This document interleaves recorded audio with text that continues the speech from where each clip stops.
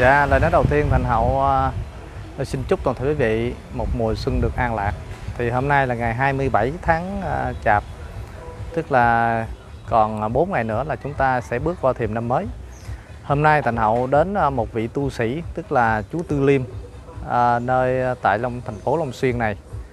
Thì uh, với một cái uh, hoàn cảnh của chú thì chú ở sống chỉ một mình, là chú uh, đang bị tai biến cũng uh, mười mấy năm rồi cho nên à, thành hậu đến thăm chú và chúc tết cho chú và có một số phần quà để à, gửi tặng chú. À, vừa bước qua thềm năm mới để chú có một cái niềm vui. Và song song vào đó thì sẽ hỗ trợ chú về vấn đề một số tịnh tài để chú lo thuốc thang trong thời gian sắp đến. Và mời toàn thể quý vị vào để thăm chú Tư nha đây thành hậu ờ, sẽ à, trở lại à, thăm chú thăm chú tư. Mời toàn thể quý vị cùng với thành hậu vào để à, thăm chú tư ha. Dạ. Đây à, tới chú tư rồi. Dạ nam mô bổn sư thích ca mâu ni phật nam mô a di đà phật. Dạ kính thưa chú tư hôm nay là ngày 27 tết. À, con đến thăm chú và sau đó à, có những vị đồng đạo vì cảm mến cái ân đức à, niệm Phật của chú. À, chú à, thuyết giảng rất hay. Và chú à, à, hiện nay thì à, chú đang bị bệnh. Dạ, chú bệnh năm nay bao nhiêu năm rồi à, chú Tư? 10 năm rồi. 10 năm rồi. Tức là chú bị tai biến đấy ha? Ừ. dạ thì à, với hoàn cảnh của chú Tư bệnh mà hôm nay thì chú cũng mới lãnh thuốc về.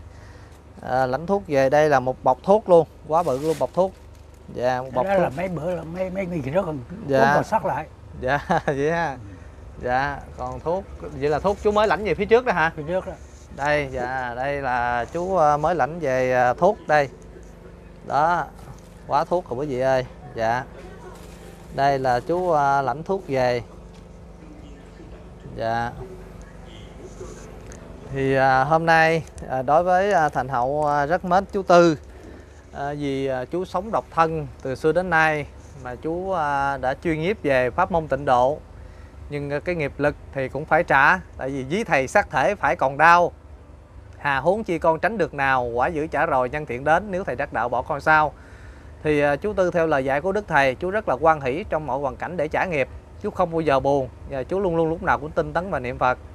Thì bước qua thềm năm mới con xin chúc chú tư được mau chóng khỏe mạnh để chuyên nghiệp niệm phật và để à, làm sao cho đức thầy trở về rồi chú cháu mình sẽ gặp nhau ở tại hội long hoa. Hay chú? Dạ dạ. nam mô phật. Đây là hai à, vị mạnh thường quân hai vị đồng đạo. Vì à, thấy chú uh, hoàn cảnh của chú uh, chú sống uh, chỉ một mình. Và uh, bên đó thì uh, chú cũng uh, đang bệnh nữa. Uh, cho nên uh, chị uh, chị Mai chị Mai ở tại uh, Cần Thơ dạ chị Mai ở tại Cần Thơ xin ờ, gửi chú là một triệu. Dạ đây một triệu của chị Mai. Và tiếp theo thì ờ, vị ờ, đồng đạo Nguyễn Thị Yến à, cũng hỗ trợ cho những hoàn cảnh khó khăn. Thì thành hậu thấy à, chú à, cũng à, nằm trong những hoàn cảnh khó khăn đó cho nên à, chị gửi 500 nữa. Dạ xin à, à, gửi cho chú Tư. Dạ. Thì à, hôm nay đến đây cũng à, mong chú Tư à, nói đôi điều về vấn đề à, à, chia sẻ về đạo đức mà hiện nay thấy chú Tư cũng hơi yếu rồi cái tay à, hơi à, tê tê hả chú? Tê. Dạ.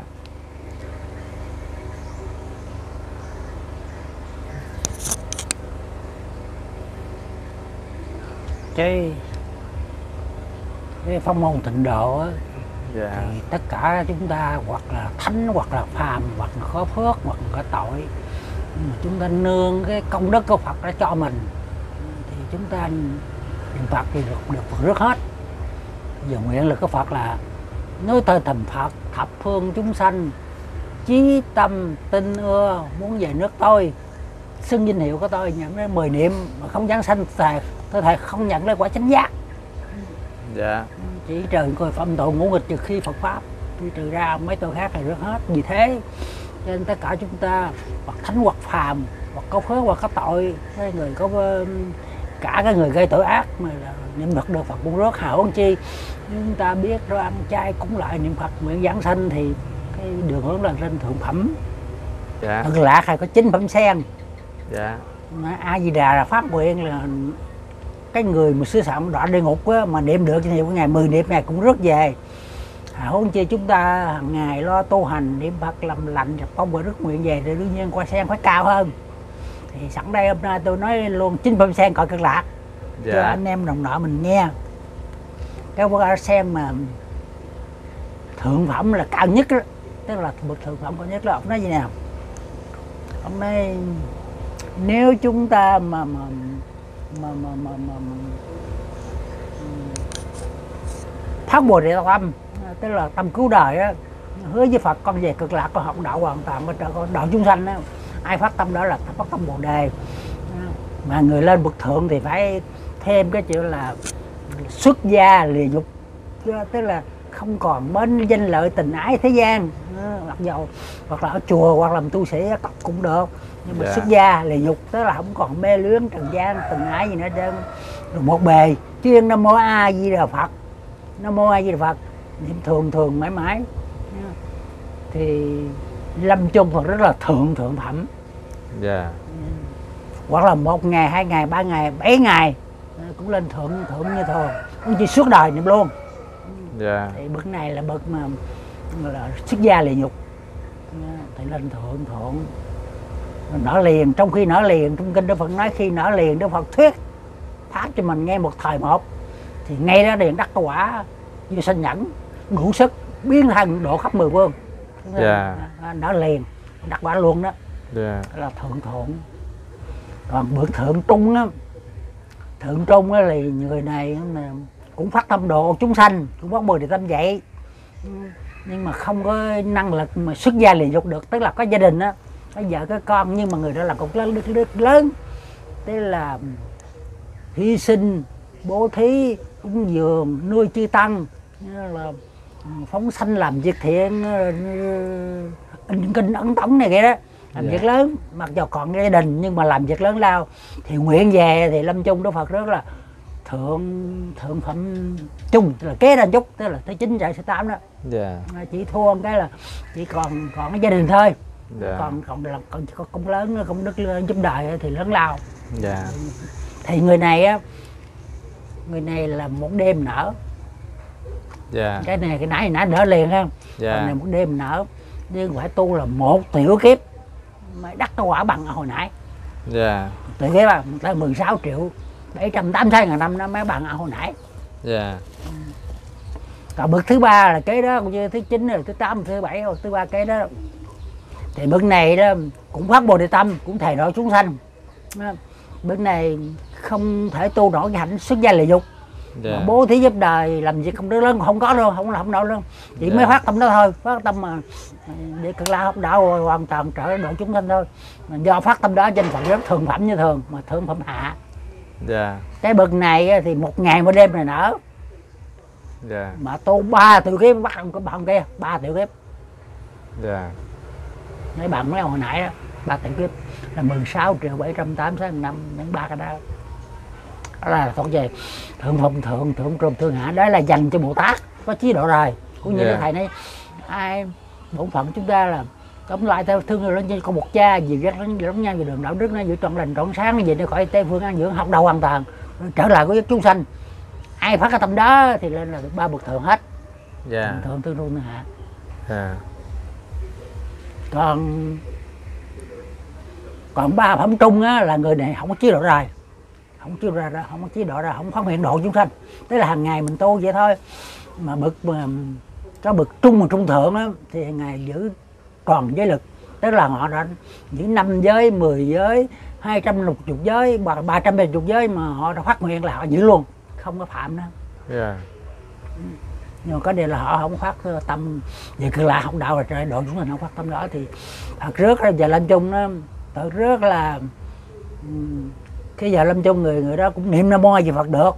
Tỉnh mẫn đàng hoàng niệm phật a di phật phật rước về. Thì trong khi về cực lạc trong kinh nói là từ từ nở ra. Từ từ nở ra.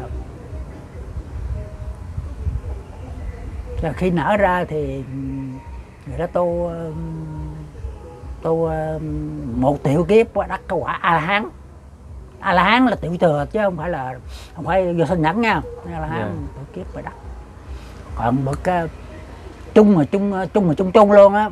Dạ. là cái bậc này là giữ bắt quan trai giới một ngày một đêm.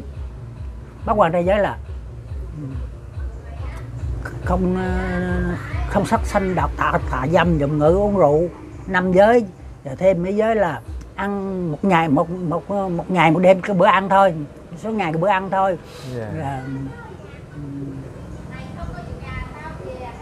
không là không ở chỗ cao rộng tức là không nằm giường cao chiếu rộng không Dạ. ờ, soi xem sướng hát ca sang tức Dạ. là cái hàng này dưới được tám điều rồi với là bắt quan trai là tám điều giới là Dạ. sắc sinh là tật tại dâm dùng uống rượu rồi không ờ, xem múa hát, không mê việc mới ác không có không có nằm chỗ giường cao chiếu rộng và thêm giờ là ăn một ngày một bữa, một ngày một đêm ăn bữa ăn à.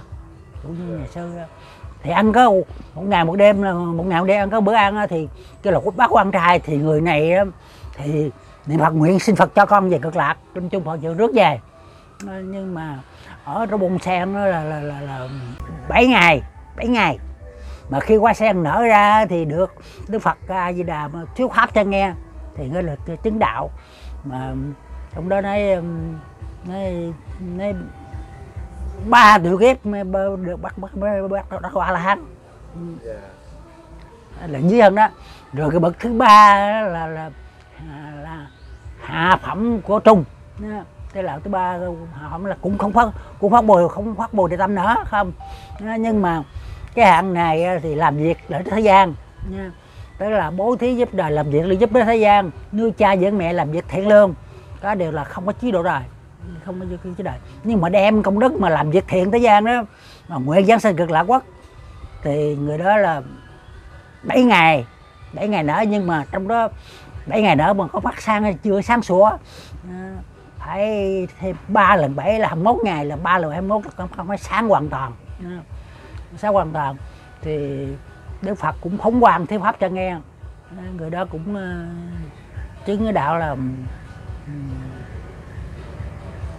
ba ba ba tiểu kiếp mới đặt qua là hán. Đó là đó là ba tập trung đó. Như vậy thì xét ra thì cái gì mà phát cái tâm mà mà bác quan trai giới một ngày một đêm nó công đức nó lớn hơn là giúp đỡ bên bên, bên, người đời. Giúp đỡ bố thí làm lành thiện lương này cái đó không bằng giữ bác quan trai giới một ngày một đêm. Nó cao hơn bức bực. Đó là đó là ba phẩm trung rồi. Còn ba phẩm hạ là những người này nếu mà không niệm phật được là chết là phải đọa địa ngục đó. Thì cái hạng này là trong ba bẩm chung ba, ba bẩm hạ này thì mình thượng thượng của hạ là hạng người gây tội như sát sanh, đạo tặc, tà dâm, làm cái nhiều tội lỗi. Như theo thập ác đó, trong kinh đó là thập ác đó. Người đó khi chết phải đòi về địa ngục. Nhưng mà giờ lâm chung được quy thức được trí đến khuyên bảo, ông phải ráng niệm phật, vì đức phật ai đã có bổn nguyện là ai niệm phật, nguyện giảng sanh cực lạc. Mà ta không rước là ta thẹo là phật chứ ông phải tin lời của phật. A di đà thuyết ông niệm phật ông nguyện về thì mới khỏi đọa được. Theo nó bắt đầu ông trí tập niệm nam mô a di đà phật nam mô a di đà phật nam mô a di đà phật. Được 10 niệm thì đức phật mới quá thần trong kinh đó là quá thân không? Dạ. quá thân quá thân của phật đến ờ, là, là tiếp dẫn thì người này là thằng rước cái bông sen khi rước về cực lạc là 49 ngày nữa đó là bậc thượng của hạ đó. Dạ. 49 ngày nữa là thượng hạ tôi là tôi lâu lắm tôi lâu lắm mới, mới bắt là bắt đắc đắc quả được Dạ. còn um, Trung có hạ. cái đó là bậc bậc bậc thượng bậc thượng của hạ Dạ. còn bây giờ trung của hạ trung hạ này là những người đã tu hành rồi cũng như xuất gia Ờ, làm đi cô là nhà sư hoặc là phật giáo họ chúng ta ờ, cũng quyết chí tu hành đó. Nhưng mà vì không khéo hiểu cho nên vẫn là bậy hoài. Tức là sát sanh đạo tặc làm việc tội lỗi hoài hoài hoài. Trong kinh đó là không biết sám hối. Không biết sám hối, chứ sự thật mình làm tội giờ biết sám hối là phật xả bỏ liền. Nhưng mà tại vì làm tội rồi phát khoát tâm tu hành, quyết chí cầu thoát mà vẫn làm tội làm tội làm tội lỗi tội hoài không bị sám hối ăn năn thì bây giờ làm chung do không sám hối cho nên bao nhiêu tội là hiện ra cả địa ngục là hiện ra. Lửa chỉ là lửa địa ngục là hiện ra phật cháy. Trong cơn mà thê thảm quảng hồn kinh khiếp gì đó thì bậc trước đến kịp thời nói rằng ông phải biết rằng nguyện lực a di đà có từ bi vô lượng vô biên. À, ai niệm phật nguyện về thì sửa nào cỡ nào cũng có được hết. Thì người đó bắt đầu trong khi sợ quá thê thảm quá mà nghe nói với bắt đầu chí tâm niệm nam mô a di đà phật nam mô a di đà phật. Được 10 niệm thì phật quá thân đến nước phật quá thân đến nước mà khi mà khi mà quá thân nước rồi. Thì ở trong bông sen là 6 tiểu kiếp. Rồi sen mới nở. Tại vì nó cái nở là quá lâu rồi trên mà không nói ví dụ mà đắc đạo không thì không nói. Sáu tiểu kiếp. Sáu tiểu kiếp là một, tiểu kiếp là 16 triệu 786 ngàn năm mà nhân cho 6 6 lần cái đó, tức là 16 triệu 786 ngàn năm nhân cho 6 là sáu tiểu kiếp qua sen mới nở mới nở. Mà nó cái nở quá lâu rồi, sáu tiểu kiếp qua nở nên học bàn tới vụ đất họ không nói tới vụ đất rồi bậc hạ bậc hạ là bậc hạ hạ là chót bạc nhất á. Cái quỳnh này cái tội là ngũ nghịch luôn. Trong kinh đó là trong cái bốn tám là nguyện đây là trừ ngũ nghịch với phê khi, khi ba chính pháp. Nhưng mà trong kinh quán lượng thọ thì phật nói là cái hạng ngũ nghịch này vẫn phần rước luôn. Có lẽ là lúc trước là phật phát nguyện rồi. Phật phát nguyện thì Phật nói trừ cái tội ra tại tội nó nặng quá không rước. Trừ tội ngũ nghịch là thật à, dần phi quan chấp pháp. Nhưng mà tới quán lượng coi nữa Phật ừ, đã thành Phật rồi. Cho nên có phẩm sen để dành về bữa đó luôn. Tức là phạm tội ngu nghịch luôn. Nhưng mà không có chê vào Phật pháp Phật pháp. Trong binh sinh phẩm sen phẩm sen bạc có hạng đó nữa. Thì nó ngu nghịch đó là sát sanh. Ờ, giết, cha giết mẹ giết la hán làm cho khoa đó phá hòa tăng chúng khi làm trang bộ phá hòa tăng chúng gì thôi. Chứ không có không có không ngu chê bài một pháp.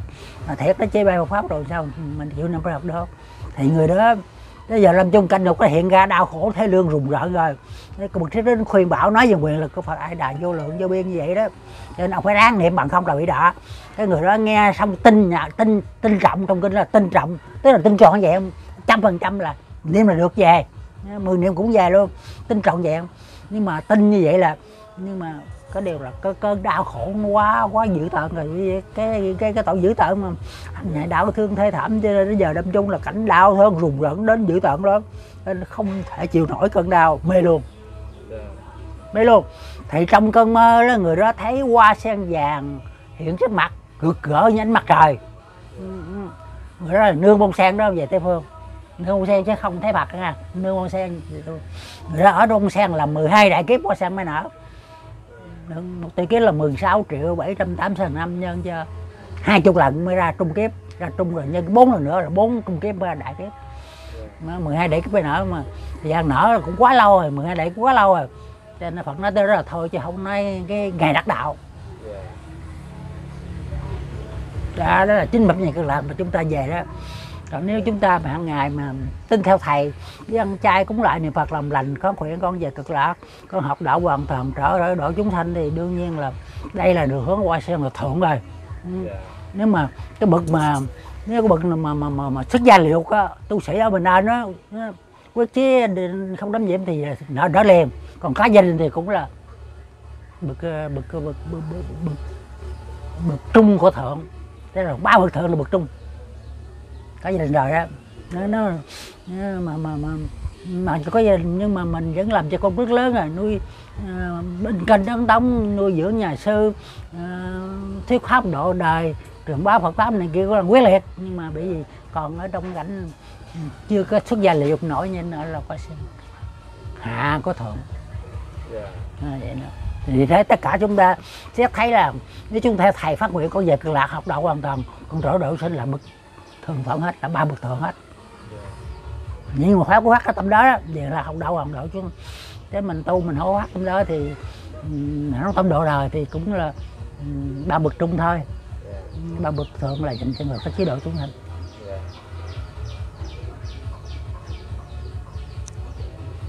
rồi ờ, ờ, chính phẩm ờ, cái như ba bậc bậc thượng bậc trung và bậc hạ. Mỗi một bậc thì chia ra là ba bậc nữa. À. dạ thì vừa qua chú tư cũng có à, dẫn chứng rất là rõ ràng. Vậy thì à, quý vị mình à, xem trên màn ảnh nhỏ thì à, rất là quan hỷ và rất là yên tâm đi.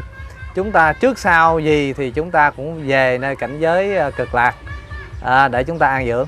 Dạ thì thôi à, nhân mùa xuân đến à, con đến đây để thăm chú tư và xin à, chúc lành cho chú Tư được à, bước qua năm mới thân khỏe, tâm an, bồ đề tâm luôn luôn lúc nào cũng à, tinh tấn và niệm Phật.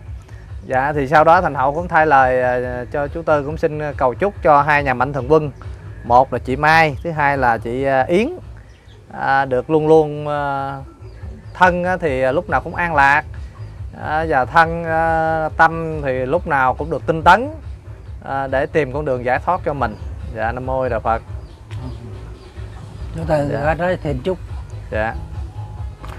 Cái việc mà anh em đồng đạo có bố thí giúp đỡ cho anh em đồng đạo như tôi đây như anh em khác á. Dạ. Thì trong kinh có nói gì nè? Nói những người tu bồ tát hạnh là phải nguyện con về cực lạc con học đạo hoàn toàn con sẽ theo phật độ chúng sanh. Dạ. Do có phát tâm bồ đề đó cho nên sẽ hưởng ân đức của phật a di đà ban cho bởi vì một công đức của phật đà ban cho ban cho cho người đó. Mà khi ban cho cho người đó mà người đó nguyện là đem cũng rất là nguyện cho phật a độ cho độ hết chúng sanh. Phật độ cho tất cả chúng sanh. Dạ. Để hướng ân đức ân đức của Phật để mà tinh tấn lâu tu nghiệp chướng tiêu tan đến ngày về cực lạc. Thì do cái người phát tâm độ chúng sanh và có do cái tâm mà Đức Phật đã thể cố chúng sanh ban phước cho người tu. Cho nên tất cả cái sự cầu nguyện của chúng ta đều được thần lực của Phật độ hết. Cho Dạ. nên tôi không có nói từ tên nhưng mà điều mình phát nguyện con về cực lạc con học độ hoàn toàn con theo Phật độ chúng sanh thì mình nguyện cho tất cả chúng sanh đồng được với Phật độ cho ân đức Phật ban cho để về tiêu nghiệp để tăng phước. Tu về cực lạc thì tất cả chúng ta muôn loài dặn vật mà nương cái sự cầu nguyện trong tôi xuống đây thì tất cả đều hưởng ân đức của Phật. Mà công đức của Phật đã ban cho thì công đức là vô lượng vô biên. Nghiệp Dạ. gì cũng tiêu. Dạ có phần nghiệp gì cũng tiêu phước Dạ. tăng vô lượng tại vì sao? Tại Đức Phật tu triệu tại vĩnh kiếp vô lượng vô biên kỳ kiếp có bao nhiêu cũng đều cho chúng sanh chúng sanh hết. Mà ai mà lại mà, mà, mà, mà thuận ý của Phật mà nương thần lực của Phật mà nguyện xin Phật độ chúng sanh mà Phật đã cho rồi mà nguyện độ nữa thì đương nhiên cái sự cái sự cầu nguyện chúng ta sẽ sẽ khế hợp với quyền lực của Phật và cái Dạ. sự cầu nguyện chúng ta sẽ thành tựu dạ. Quá hay thì à, vừa qua như chú Tư cũng à, giống như là phát nguyện à, nguyện chung à, à, cho tất cả những nhà mạnh thường quân và tất cả chúng sanh luôn. Dạ. à, được cùng với để thành Phật và giảng sanh về Tây phương nhiều được hưởng ân đức của ban cho. Dạ được tiêu nghiệp chướng tu hành để dạ. chung chứ không có riêng một cái người nào. Không sót ai. Không sót ai Tức là không sót của chúng sanh hết. Dạ dạ vậy thì à, hai vị mạnh thường quân đây cũng yên tâm. Và trong đó là có hai vị luôn Dạ. tất cả những vị mạnh thường quân nào nếu mà hướng tâm về cúng dường cho tam bảo Ừ. à, cùng hỗ trợ cho những quý vị có hoàn cảnh để à, tu hành đó thì quý vị mình sẽ được ân đức của đức phật ban cho. Ờ đức dạ Phật sự cho. giáng sanh tây phương. Dạ. Phật đem hết công đức của Phật cho chúng sanh nếu ai niệm Phật nguyện cho cho chúng sanh khác được về thì Phật đều cứu độ hết cho tội nguyện hết. Dạ rồi. Quá hay. Dạ rồi vậy con à, cũng xin đa tạ và cho tri ân chú tư và nam mô a di đà phật. Rồi nam mô a di đà phật. Dạ. Chúc ờ, đức phật độ cho tất cả anh em đạo chúng ta kẻ lớn kẻ nhà kẻ sân người xa. Tôi tu nhiều điều được ấn đức của phật. Tu triệu tại giết ban cho mà do công đức của phật ban cho cho nên tất cả đều được hưởng đức của phật mà tiêu hết nghiệp dạ. Tu hành cho nên chung đi cực lạc rồi sau khi học đạo hoàn toàn rồi còn trở lại độ chúng đúng như thầy chúng ta biểu đó thì thứ tám tóm lại tóm tất tất cả chúng ta phải thương nhau như thương yêu lẫn nhau như có một cha. Rồi nhiều rất lẫn nhau nhiều đạo đức. Nó giữ trọn lành trọn sáng vậy thì khỏi tây phương an dưỡng học đạo hoàn toàn trở độ chúng sanh như vậy là không phải riêng cho tôi mà tất cả anh em đạo chúng ta đều phải phát nguyện vậy và đều phải hưởng được công đức của Phật đã ban cho hết. Thành Dạ. tựu bổn nguyện hết. Dạ. A di đà phật. dạ